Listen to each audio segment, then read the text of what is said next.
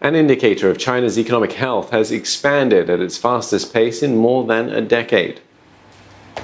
The uh, Caixin's uh, Purchasing Managers Index rose to just about 58 last month. Anything below 50 is a contraction, and the June result is a sharp rebound from the slump in February. All this suggests China's recovery is gaining traction as factories and businesses get up and running again.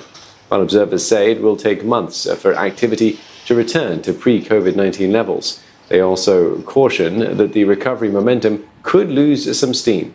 Consumers are likely to spend more cautiously amid heavy jobs losses and pay cuts. And employment levels remain in negative territory, with corporate headcounts plunging at a faster rate than in May.